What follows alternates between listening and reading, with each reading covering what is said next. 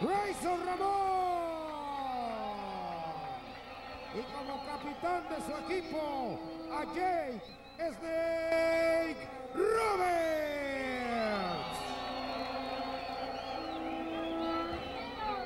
Y en la otra esquina, en el bando de los técnicos aparece en primer plano el Sexy Boy. No, pero antes permítame presentarles a otro joven también de mucho talento. Se trata del Muscle Boy, del hombre campeón del bombeo de hierro, cibernético.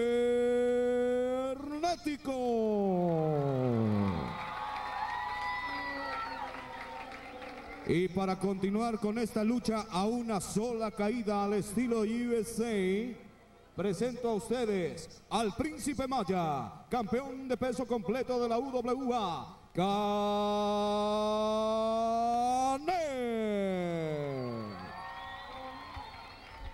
En esta ocasión yo quiero ser un portavoz de mi gran amigo Latin Lover que me ha dicho, diles por favor que quiero dedicarles esta batalla, que los estadounidenses no nos llegan ni a los tobillos y que yo, yo soy el número uno. Él es Latin Lover.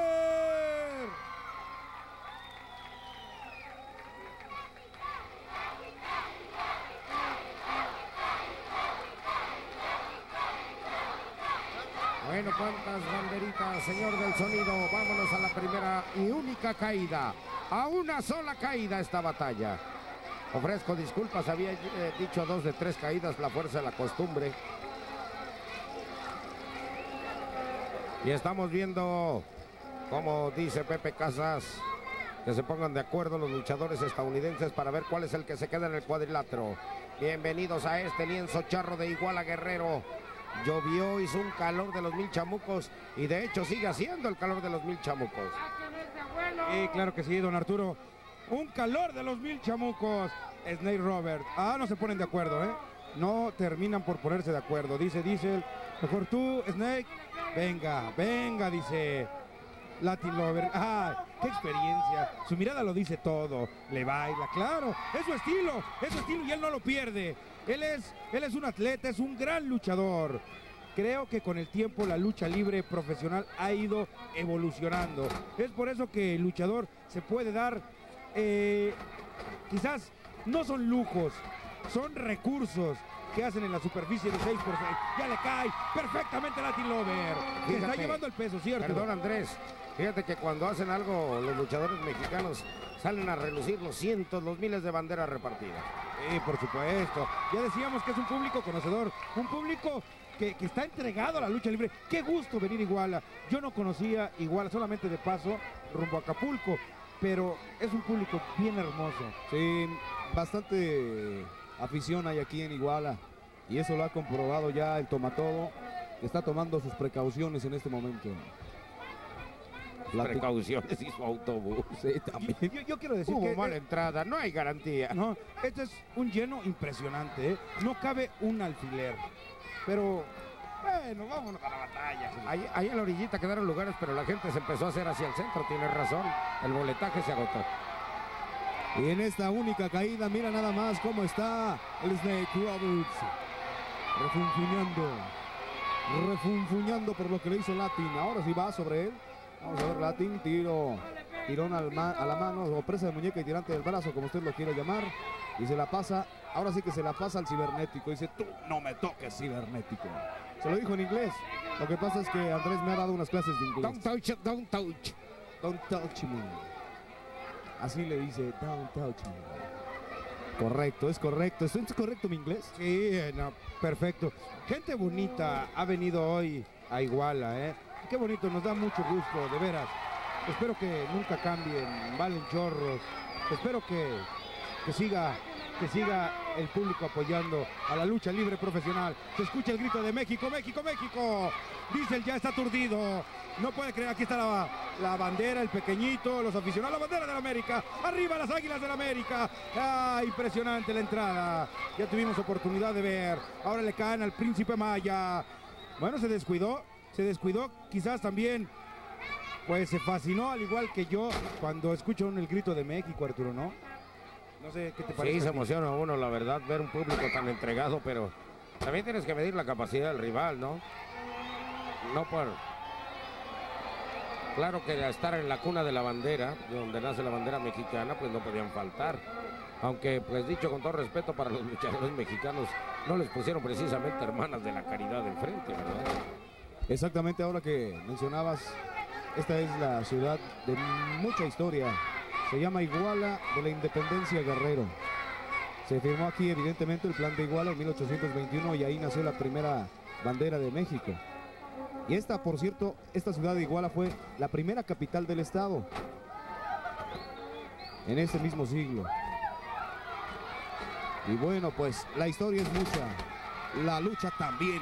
Aquí Canek está mostrando sus grandes dotes de, de luchador profesional, así de sencillo, podría ser el mejor.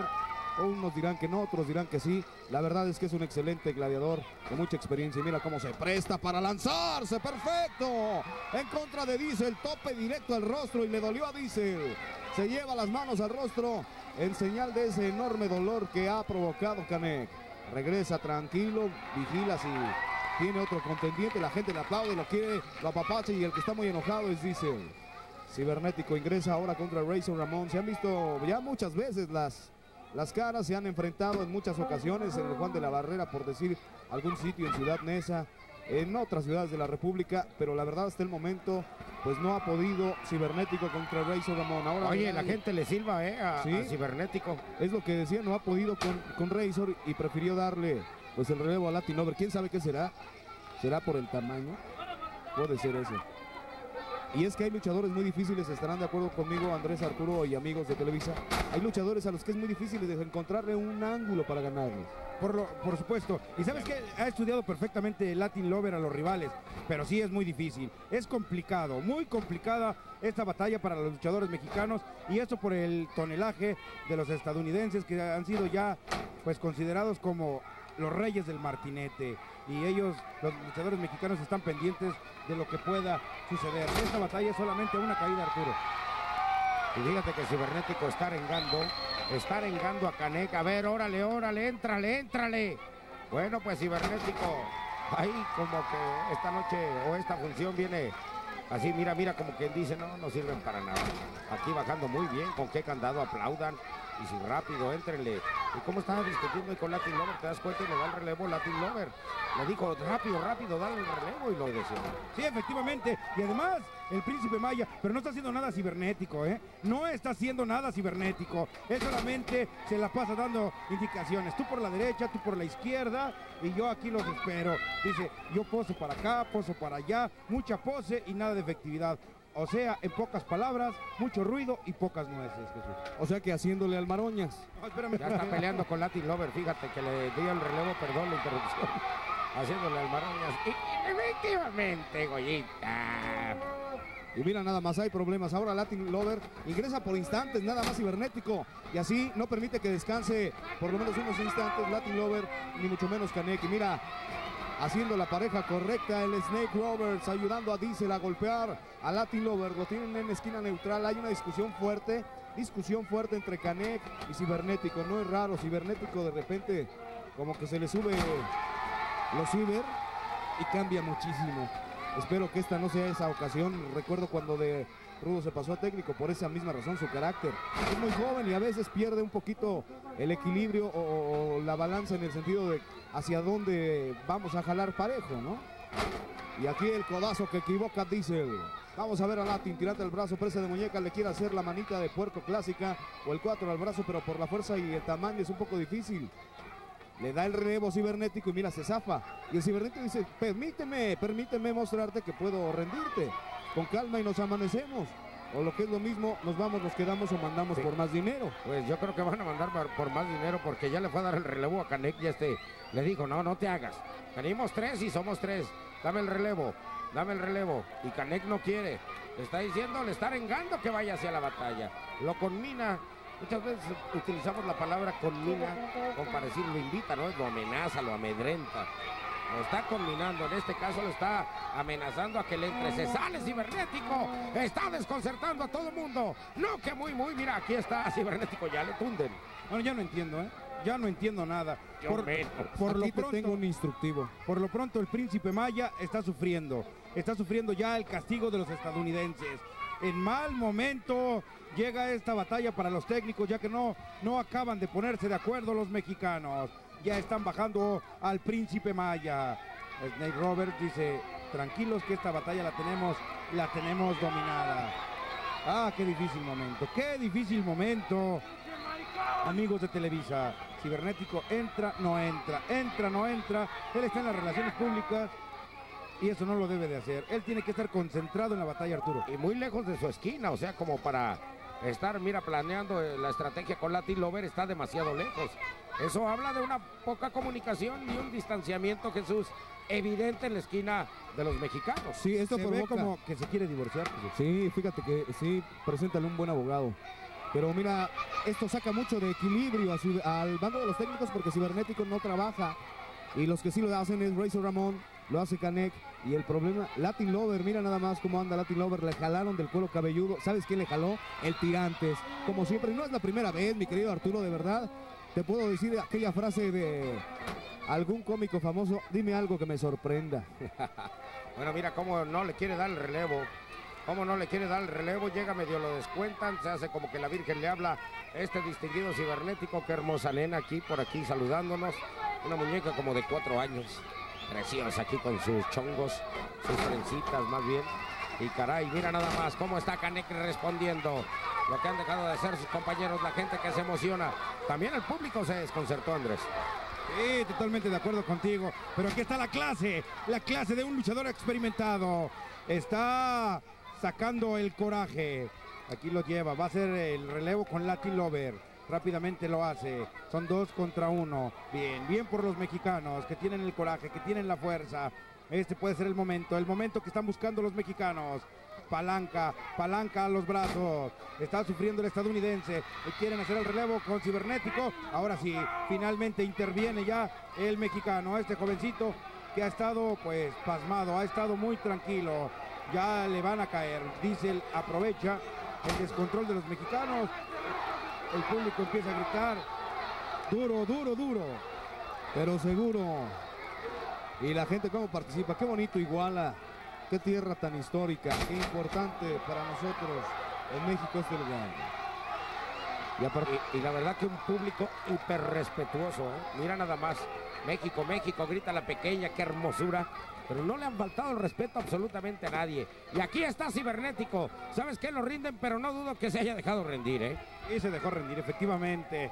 Se dejó, se dejó rendir, no lo estaban apretando, no lo estaban sujetando. Solamente él puso las espaldas planas y así que está fuera de circulación cibernético. Y Snake Roberts también está pensativo. Parece Parece un coyotito. Sí, me- eh, le está ganando el sueño, ¿eh? No ha participado tampoco Snake Roberts. Así que, ¿qué estará pasando en el bando estadounidense también, Jesús?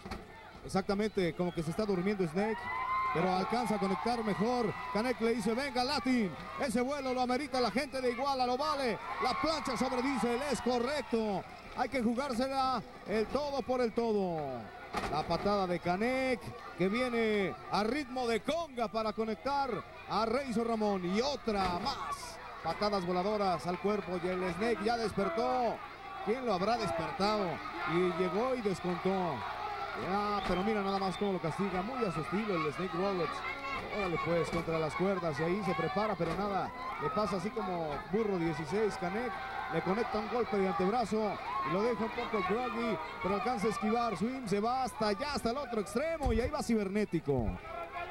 Sí, exactamente, mi querido Arturo, tú tienes la palabra. Le abrió la cuerda para que se saliera. Es un costal verdadero de mañas este cibernético. Y lo está regresando a la brava. ¿Qué clase de azotón le acaba de dar Diesel? Pero azotón en serio a Latin Lover. Y ve nada más, lo azotó contra el esquinero. Aquí está Canek, se va a subir cibernético. Faulea a su compañero el tirantes. Se rasca la piojera. Uno, lo veo Casas. Avienta uno, dos, tres. ¿Qué va a pasar? Porque hay discusión entre los referees. Porque es que sabes que de todos modos tienen que perder los mexicanos. ¿Sabes por qué? ¿Por qué? Porque Canek, porque Canek faulea a su compañero. Es bronca entre ellos. Viene el tirantes, perdón, Pepe Casas. La, la- la gente está desconcertada. Cibernético ya se va. Bueno, pues, ay, ¿qué se puede comentar aquí de cibernético? Cibernético está molesto. Yo no entiendo la actitud del mexicano. Está muy molesto con Canek, no sé, no sé por qué, Jesús. Hubo división desde el principio, como que no se entendieron. La razón de fondo no la sé en realidad. Lo que sí, al igual que ustedes, estoy confundido por su actuación. No convenció, no convenció absolutamente Cibernético, no se entendió con Canek. Quién sabe qué rivalidad tendrá contra Latin, que ahora lo descuenta. Mira, este caballero le quiere pelear. Cara a cara. No, pero la gente, mira nada más, por eso volvemos a lo mismo. El público de Iguala es calificación de, de 10 y mucho más, pero un 10 de esos de excelencia, porque se ha comportado a la altura. Vamos a ver el hermosísimo vuelo de Latin sobre Diesel. Sí, esa plancha fue estupenda. Aquí las cosas parecían cambiar, pero no. Creo que perdieron el ritmo incluso Canek por eh, la actuación de Cibernético. Siempre estuvo pues molesto y esto sacó de concentración no solo a Canek sino también a Latin Lover, cosa que aprovecharon y capitalizaron de manera adecuada el bando de la WWF en, en este sentido el Snake y Razor Ramón. ¿Qué podríamos resumir en esta función, Jesús Andrés? Hombre, de, de- de los de los cambios, ¿no? Héctor Garza y Heavy Metal contra Venom. Y luego de Cibernético, este que vemos ahí, que fue el que le abrió la cuerda a Canek para que cayera. Y luego aquí el público es pródigo al reconocerle a los que gladiaron por México, pues que le echaron ganas, le pusieron todo, pero Cibernético, pues en una actitud desconcertante. Sí, totalmente de acuerdo. Arturo, eh, Latin Lover, creo que puso su granito de arena al igual que, que Canek, con mucha fuerza. Pero aquí, ese es el momento, ese es el momento donde derribaba a Canek con ese foul. Aquí no podían marcar nada los referees porque son compañeros, pero aquí sí hay espaldas planas y se escribía de esta forma la historia, Jesús. Sí, así es, había problemas incluso entre, entre Pepe Tropicazas y el Tirantes. Y evidentemente la situación no se va a quedar así. Señoras y señores, regresamos con más del Poder Triple A.